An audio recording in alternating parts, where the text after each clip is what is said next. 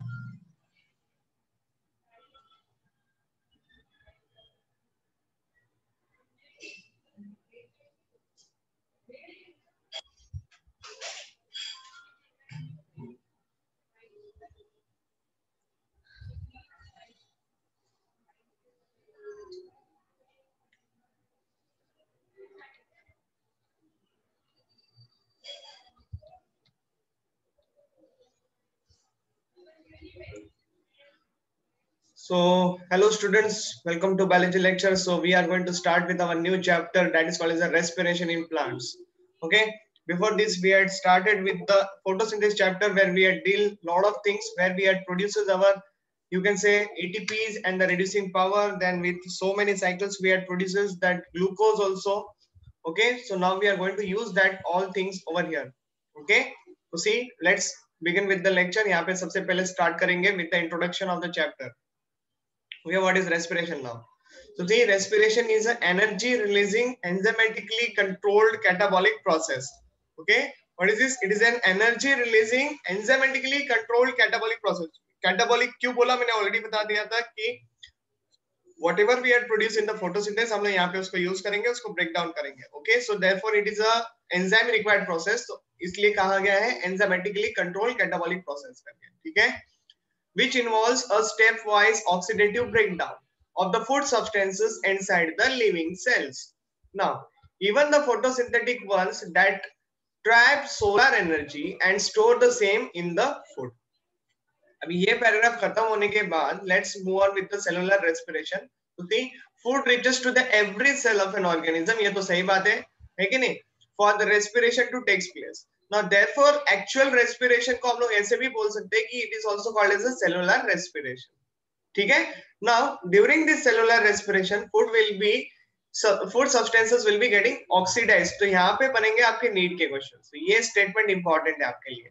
Okay? Cellular respiration के समय में फ़ूड सब्सटेंसेस जो होते हैं वो ऑक्सीडाइज किए जाते हैं. Okay? Now it occurs in the cytoplasm. ध्यान देना लोकेशन बेस्ड क्वेश्चन आ सकता है. Then mitochondria.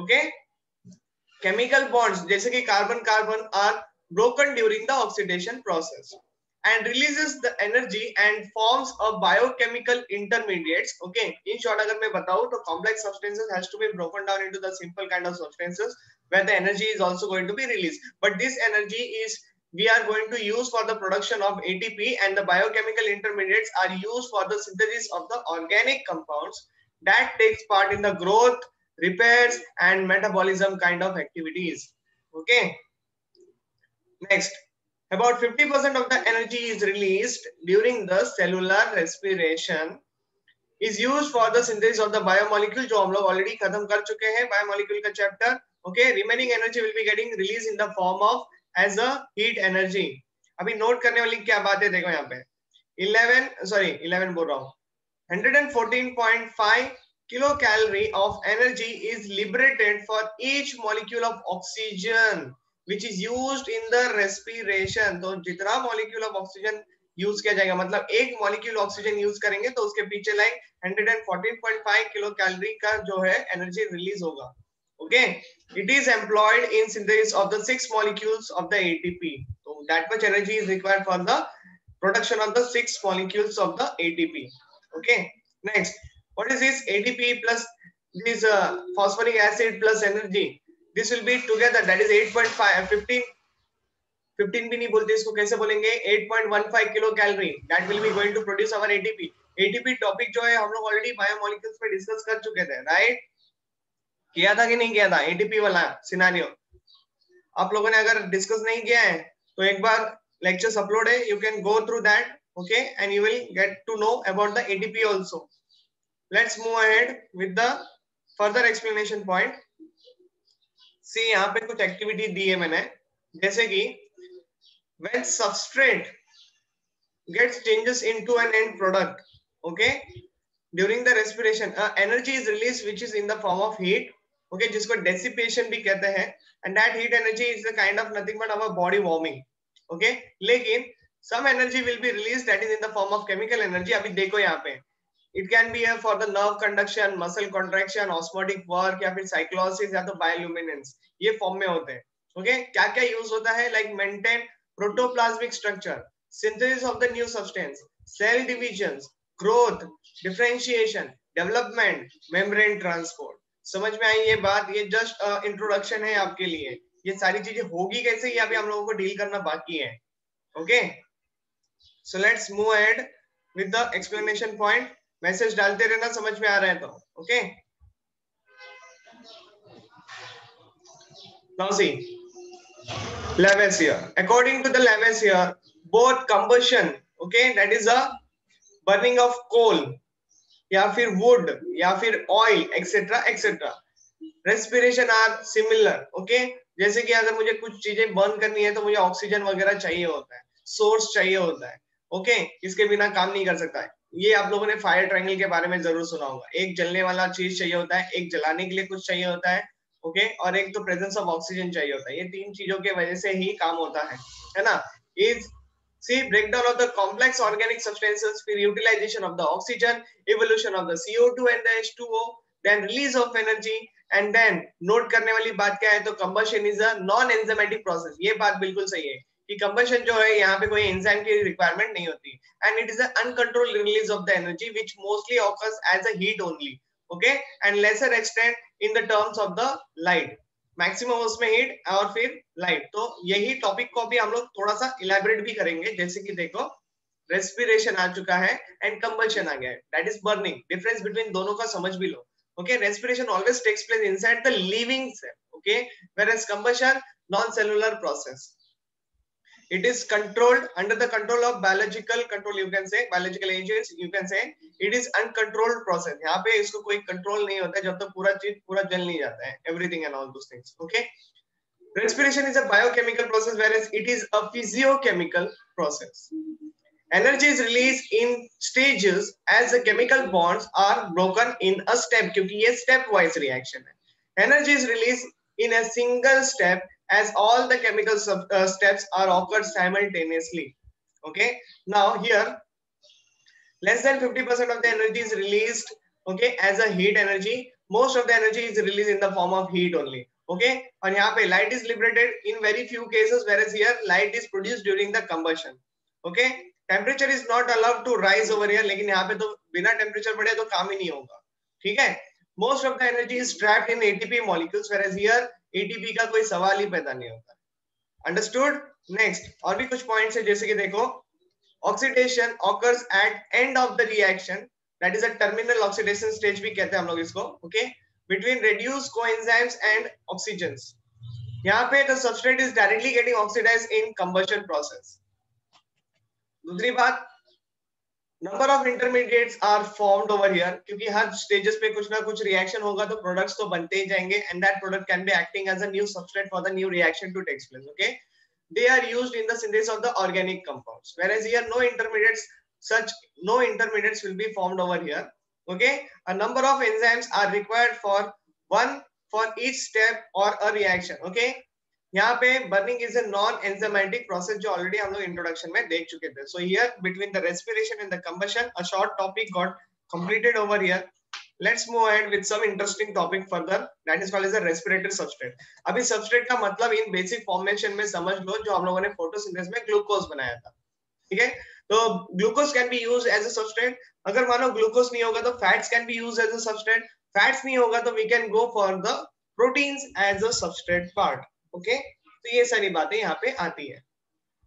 जैसे कि see respiratory substrate are those organic substances which are oxidise during the respiration process to liberate energy inside the living cell okay commonly respiratory substrates are glucose nothing but carbohydrate also okay proteins fats and organic acids are also plays an important role okay next note most common is glucose always that is a hexose monosaccharide and another related compound is a fructose क्योंकि वो भी छह ही carbon का होता है है ना जो हम लोगों ने बायोमोलिक्यूल्स में काफ़ी अच्छे से डील किया था अभी इसको समझो देखो glucose is formed from the storage carbohydrate okay like starch in case of the plant and glycogen in case of the animal and fungi ये आपके लिए important statement यहाँ से ही questions बनते हैं okay तो सबको पता होगा प्लांट में ग्लूकोज को स्टार्च के फॉर्मेशन में स्टोर किया जाता है और ग्लाइकोजन को एनिमल्स एंड फंजाई के इसमें स्टोर किया जाता है ओके अभी देखो fats are used as a respiratory substrate by the number of organisms because they contain more energy as compared to the carbohydrates. सबको पता है कि fats it acts like an insulator and all. It provides like more uh, insulating बोलते हैं ना जिसको यार क्या कहते हैं उसको?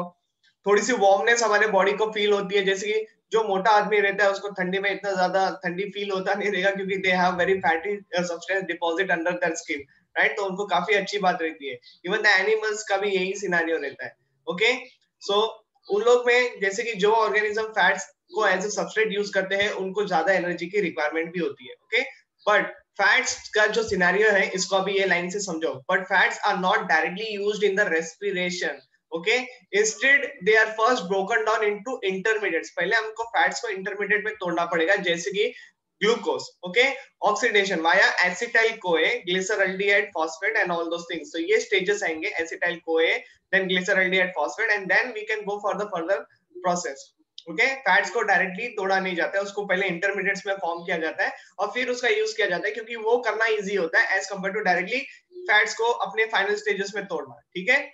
और यहाँ पे एक और बात समझ लो, अगर कार्बोहाइड्रेट का यूज़ हो रहा है that is very good if carbohydrate is not able then the second substance will be the fats and then there is not fat is also available then we will be going for the protein so finally breakdown protein होता है. लेकिन breakdown करना protein का it's like very problematic क्योंकि protein जब breakdown वगैरह होता है तो there is like ammonia like substance वगैरह जो फॉर्म होते हैं it will be acting like a toxic material okay okay? जो बॉडी में अगर टॉक्सिक फॉर्मेशन होगा तो ये सही बात नहीं है, ओके okay? इसलिए मैक्सिमम समय में हम लोग इतना ध्यान देते कि कार्बोहाइड्रेट एंड फैट्स का ही ब्रेकडाउन हो, okay if nothing is available then we will be going for the proteins and all those okay लेकिन फिर भी देखो यहाँ पे proteins are use in the respiration only rarely as during germination of the protein rich seeds and spores proteins are hydrolyzed to form a amino acid from which a organic acids are produced okay organic acid enter in the krebs cycle. Example क्या क्या हो सकता है? Like aspartic acid glutamic acid on all things ये सारी बातें हम लोग आगे जाके करने वाले हैं। लेकिन aspartic acid and glutamic acid this are actually an amino acid हम लोग ऑलरेडी देखे हैं मॉलिक्यूलर जेनेटिक्स में। इवन द बायोमोलिक्यूल्स में भी आया है ये पार्ट ओके okay? याद करने की कोशिश करो 20 अमीनो एसिड्स का मैंने एक लिस्ट दिया था। Note at other times proteins are employed as a respiratory substrate मैंने बोला ना प्रोटीन्स को as a respiratory substrate use किया जाता है। लेकिन कब?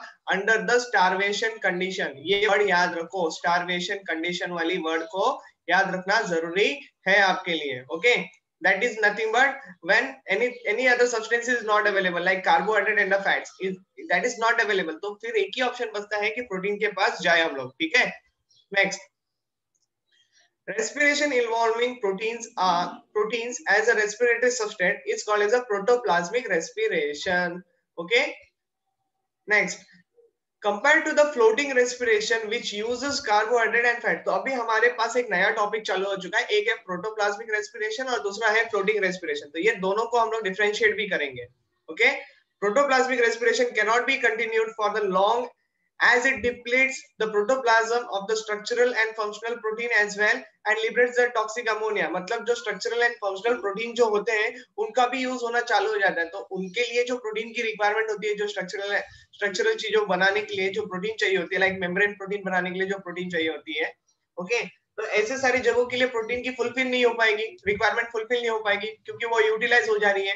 समझ में आ रही है? इसी के अलावा it releases the toxic substance also in the form of ammonia so it is a very difficult stage you can say okay now see over here यही समझने के लिए आपके सामने एकदम सिंपल फॉर्मेशन में रखा हुआ है floating respiration and protoplasmic respiration दोनों को समझो। यहाँ से क्वेश्चंस बनते हैं। Yes it is a very very important topic for you to understand okay So see, it's a common mode of respiration and whereas protoplasmic, it is very rare during the starvation. Okay.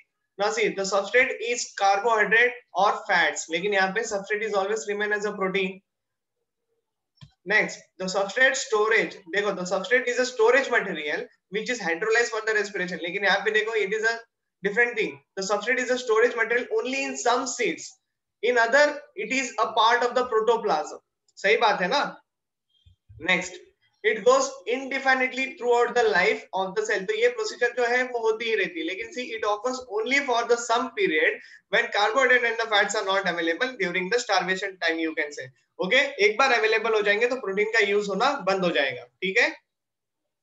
Next तो toxics are not formed in this scenario इसलिए हम लोग अभी तक मस्त पैकी जी रहे अच्छे से। या फिर सेलुलर ऑर्गेनिज्म जो ये सारी एक्टिविटी करते हैं, वो लोग भी अच्छे से जी रहे हैं। Okay toxic products like ammonia are produced over here और ammonia is not good for the health okay it keeps the cells healthy लेकिन यहाँ पे ये toxic करने के कारण ultimately leads to the death okay so i hope you understood this part very very clearly में आया प्रोटोप्लाज्मिक का मतलब एंड फ्लोटिंग रेस्पिरेशन का मतलब चलो फटाफट okay okay?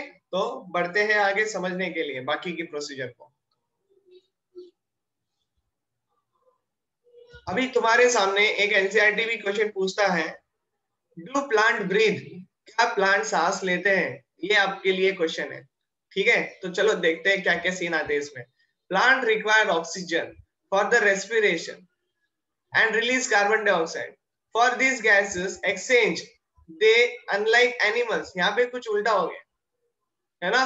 Plant required oxygen for the respiration and release CO ये उल्टा हो गया। Plant required CO2 for respiration, right? ये होना चाहिए ना and release oxygen. For this gaseous action, they unlike animals, they have no specialized organ.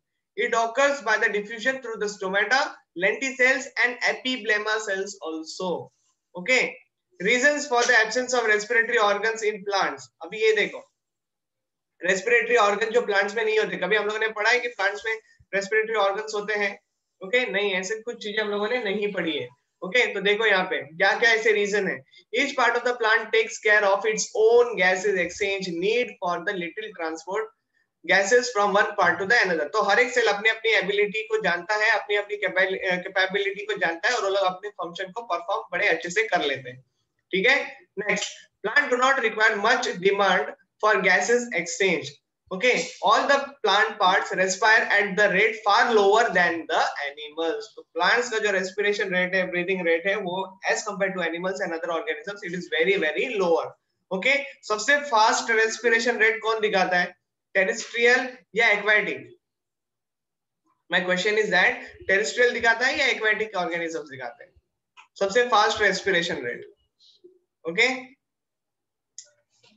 aquatic दिखाते हैं ओके एक्वेटिक कंडीशन में सबसे जल्दी जल्दी रेस्पिरेशन होता है, क्योंकि वहाँ पे ऑक्सीजन जो है वो डिजोल्व फॉर्मेशन में प्रेजेंट होता है, ठीक है? तो उनको फटाफट सांस लेनी होती है as compare to the terrestrial और टेरिस्ट्रियल में जो सबसे छोटे इंडिविजुअल्स होते हैं, उनको जल्दी जल्दी सांस लेने की ज़रूरत पड़ती है okay again the same logic you apply over here कि जितना छोटा organism their respiration rate will be higher okay example now, see, going for the next point leaves are well developed and adapted to take care of their own needs okay and own needs like of gases during the photosynthesis okay moreover the leaves also utilizes the oxygen released during the photosynthesis in plant cell are closely packed and located quite close to the surface of the plant thus the distance that gases must diffuse is not large तो मतलब हर cells के बीच में जो भी distance होता है, वो इतना ज़्यादा भी नहीं होता है जिसके कारण डिफ्यूजन में प्रॉब्लम हो। So they are very compactly contact you can say नज़दीक नज़दीक होने के कारण, है ना? लेस इंटरसेलुलर स्पेसेस होने के कारण चीज़ें काफ़ी अच्छे से मूव कर सकती है। Okay now see in stem the living cells are present beneath the bark and are in contact with the air through the lenticels तो लेंटिसेल फॉर्मेशन हम लोगों ने सेकेंडरी ग्रोथ में सीखा है। ओके मतलब आप लोगों को पता होगा कि during the secondary growth in the stem there is a formation of the lenticels है ना? लेंटिसेल्स में आप लोगों को पता है कि कॉर्ड सेल जो होते हैं जो कि फॉर्म्ड हुए थे during the secondary growth okay मतलब जो पैरेंकाइमा uh, सेल्स होते हैं ना the cells between the outer epidermis and the endodermis इनके बीच का जो रीजन होता है हम लोग उसको कॉर्टेक्स कहते हैं। क्या कहते हैं कॉर्टेक्स सही बात है? उन कॉटेक्स जो सेल्स होते हैं, वो पेरेंकाइमा के सेल्स होते हैं। उनके बीच वाले पेरेंकाइमा के सेल्स में कुछ मॉडिफिकेशन हो जाते हैं और they act like a cambium and what is the function of cambium? They add new cells on both the sides, outer side as well as inner side.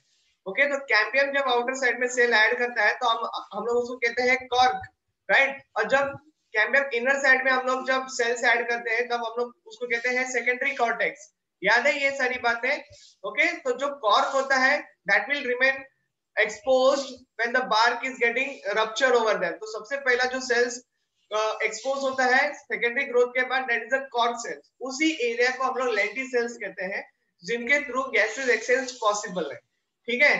Next देखो यहाँ पे epiblema cells of the roots are permeable to the carbon dioxide and the oxygen तो epiblema cells के location पूछा तो हमेशा याद रखना this are the cells of the roots okay next Loose parenchyma cells in the leaves, stems, and in the root provide the interconnecting network of air spaces for the quick gases exchange. जो हम लोग देखते हैं ना कि stomata के पहले जो लीव्स में गैप्स होते हैं उनको हम लोग एयर कैविटीज कहते हैं या फिर एयर स्पेस कहते हैं जहाँ पे सारे गैसेस आके रुक जाते हैं और जब भी स्टोमेटा क्लोज ओपन होगा तभी ये सारी एक्टिविटी आपको देखने मिलेगी Thus, the most of the cell of the plant have at least one part of their surface in contact with the air. समझ में आया? कुछ ना कुछ पार्ट जो प्लांट का है, वो एयर के कांटेक्ट में रहेगा, जो कि उनके लिए बहुत अच्छी मदद कर सकता है। Now going ahead with the lecture here types of the respiration तो हम लोगों को अभी सबसे बेसिक टाइप के बारे में बात करना है। ऑलरेडी रेस्पिरेशन चालू हो चुका है, और एरोबिक एंड एनएरोबिक नहीं समझे, इसके बिना हम लोग लेक्चर को आगे बढ़ाए ये हो नहीं सकता है। सही बात है ना? तो सबसे पहले फिर से इसको एक और बार समझ लेते हैं, क्योंकि ये टॉपिक बायोलॉजिकल क्लासिफिकेशन में भी आया था और ये फिर से आपके स्क्रीन पे आ चुका है। तो चलो, अभी डील करते हैं इसको। It occurs in presence of oxygen सबको पता है एब्सेंस ऑफ़ ऑक्सीजन ठीक है? Glucose is completely oxidize where is glucose here is partially getting oxidize okay यहाँ पे एंड प्रोडक्ट जो होता है, वो CO2 होता है वाटर होता है एंड देन 36 ATP का फॉर्मेशन होता है। यहाँ पे जो प्रोडक्ट्स होते हैं they will always in the form of ethyl alcohol या तो फिर ये लैक्टिक एसिड दिखाएँगे, अगर मसल्स की बात हो रही है ओके इथाइल अल्कोहल होगा, अगर ईस्ट होगा मतलब ईस्ट के साथ में इथाइल अल्कोहल के साथ में CO2 रिलीज़ होता है, अगर लैक्टिक एसिड फॉर्मेशन हो रहा है तो CO2 रिलीज़ नहीं होगा, क्योंकि lactic acid itself is a three carbon compound समझ में आ रही है ना बात? और साथ में दो ATP okay that will be the energy so it is see only two ATP whereas here is the 36 ATP will be seen now, see energy is released in the large quantities whereas here it is very lesser quantity Next, cytoplasm and mitochondria are the sites of the breakdown, whereas here only the cytoplasm is the site of the breakdown. Okay, तो ये भी आपको ध्यान में रखना है.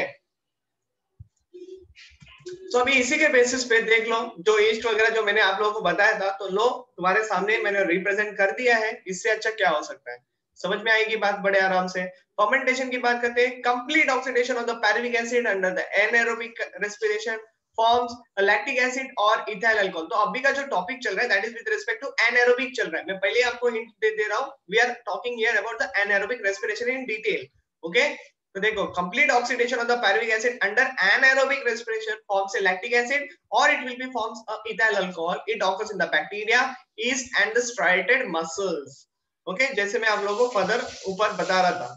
तो देखो यहाँ पे in yeast fermentation pyruvic acid जो होता है it will get converted into ethyl alcohol and CO2 formation will be taking place क्योंकि इथाइल अल्कोहल दो कार्बन का होता है पायरुविक एसिड तीन का तीन कार्बन का होता है ओके okay? और एक कार्बन डाइऑक्साइड एक कार्बन इस कार्बन डाइऑक्साइड के फॉर्म में रिलीज़ होता है, लेकिन सब लोग दो दो मॉलिक्यूल बनाएँगे क्योंकि pyruvic acid comes for the two molecule glucose will break down into two molecule of the pyruvic acid in the glycolysis ये बात आपको अच्छी तरीके से पता होगी है ना? तो three carbon compound broken into the two carbon and the one carbon that is CO2 will be released now enzyme involved here is pyruvic acid and decarboxylase alcohol dehydrogenase यहाँ पे अलर्ट हो जाओ। आपको एंजाइम के नाम के ऊपर questions पूछे जा सकते हैं। Okay, so be alert in this area. Enzyme involved here is pyruvic acid decarboxylase. Decarboxylase मतलब क्या? कार्बन डाइऑक्साइड निकल रहा है रिलीज़ हो रहा है एंड अल्कोहल डिहाइड्रोजिनेस जो कि बन रहा है यहाँ पे।